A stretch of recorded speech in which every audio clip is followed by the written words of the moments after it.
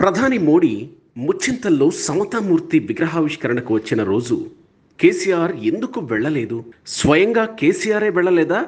అలాగైతే తాను వెళ్ళడం లేదని డైరెక్ట్గానే చెప్పొచ్చు కదా. తాను డైరెక్ట్ మనిషినని డొంక తిరుగుళ్ళు ఉండవని ఆయనే చెప్తారు కదా.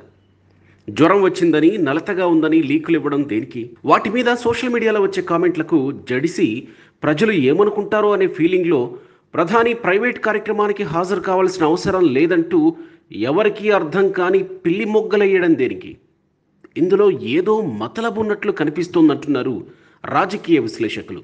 సరే ముచ్చింతల్లో మోడీ పర్యటనలో తాను పాల్గొంటానన్న కేసీఆర్. ఆ తర్వాత పాల్గొనకపోవడానికి అవతలి వైపు నుంచి ఏమైనా అభ్యంతరం వచ్చిందా అంటే అదే నిజం. అందులోనే అసలు నిజం ఉందంటున్నారు రాజకీయ పరిశీలకులు. కేసీఆర్ వెళ్ళకపోవడం కాదు ప్రధాని మోడీనే కేసీఆర్ను రావద్దన్నారనే లోగుట్టు ఇప్పుడిప్పుడే లీక్ అవుతోంది. అవినీతి ఆరోపణలు ఎదుర్కొంటున్న క్రిమినల్ కేసులు ఎదుర్కొంటున్న వారి విషయంలో ప్రధాని మోడీ నిక్కచ్చిగా ఉంటారని జనమంతా ప్రత్యేకంగా చెప్పుకుంటారు. అదే విషయాన్ని మోడీ గజ్వెల్లో పర్యటించినప్పుడు కేసీఆర్ బహిరంగంగా చెప్పి మోడీని తెగ పొగిడారు కూడా.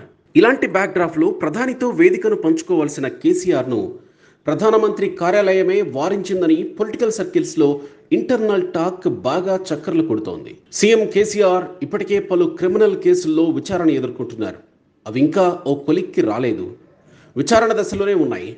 ఎమ్మెల్యేలకు ఉండే వెసులుబాటు ఉపయోగించుకుని పాస్పోర్ట్ స్కామ్కు కేసీఆర్ పాల్పడినట్లు ఆరోపణలు ఉన్నాయి ఆ విషయాన్ని అప్పుడప్పుడు రేవంత్ రెడ్డి బండి సంజయ్ లాంటి ఫైర్ బ్రాండ్ నేతలు ప్రజలకు గుర్తు చేస్తూ ఉంటారు. ప్రధాని ఈ విషయంలో చాలా క్లియర్ కట్ ఒపీనియన్తో ఉన్నారు కాబట్టే పిఎంఓ నుంచి కేసీఆర్ను రావద్దనే సమాచారం ఉందంటున్నారు రాజకీయ విశ్లేషకులు. మరోవైపు కేసీఆర్ మీద ఆయన పరిపాలన శైలి మీద తీవ్రస్థాయిలో విరుచుకుపడుతున్న తీన్మార్ మల్లన్న కూడా కేసీఆర్ ముచ్చింతలు రాకుండా ఉండడానికి మరో కారణమనే అభిప్రాయాలు కూడా వినిపిస్తున్నాయి. ముచ్చింతల్లో ప్రధానికి స్వాగతం పలికే కమిటీలో తీన్మార్ మల్లన్నకు చోటు కల్పించినట్లు అత్యంత విశ్వసనీయ సమాచారం. బీజేపీ రాష్ట్ర నేతలు తీన్మార్ మల్లన్నను ఆ కమిటీలో వ్యూహాత్మకంగానే పెట్టారంటున్నారు. బడ్జెట్ రోజున కూడా సోషల్ మీడియాను కాలబెడతామని అది ఒక జర్నలిజమేనా అని నువ్వొక జర్నలిస్టువా అంటూ పలు సంస్థల మీద కొందరు జర్నలిస్టుల మీద కూడా కేసీఆర్ డైరెక్ట్గా విరుచుకుపడ్డారు.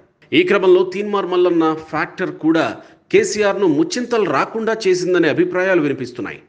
సో బీజేపీ అధినాయకత్వం సైలెంట్గా ఇచ్చిన కౌంటర్తో KCR and team mind blank అయిందంటున్నారు రాజకీయ నిపుణులు. ప్రధానమంత్రి ఆఫీస్ నుంచి ఇంటెలిజెన్స్ అధికారుల నుంచి వచ్చిన సమాచారంతో కేసీఆర్కు నిజంగానే జ్వరం వచ్చిందని చెలోక్తులు విసురుతున్నారు రాజకీయ పరిశీలకులు. సో కేసీఆర్ డుమ్మా కొట్టడం కాదు డుమ్మా కొట్టేలా బ్యాక్గ్రౌండ్లో డ్రామా నడిచిందనే విషయం క్లియర్గా అర్థం చేసుకోవచ్చనే కామెంట్లు వినిపిస్తున్నాయి. ఇలాంటి మరిన్ని వీడియోలు కావాలనుకుంటున్నారా? అయితే సబ్స్క్రైబ్ చేసి పక్కనే ఉన్న బెల్ సింబల్ను క్లిక్ చేయండి.